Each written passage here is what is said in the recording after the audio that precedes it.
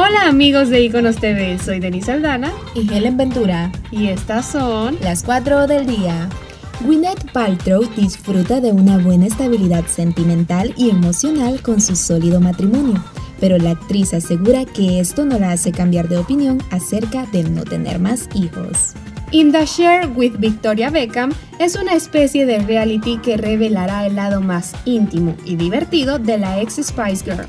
La producción ya ha empezado a grabarse y se estrenará en esta primavera. Netflix ha querido unirse al último reto viral 10 Years Challenge, mostrando cómo habían cambiado los actores de la famosa serie Friends desde el primero hasta el último episodio de la producción.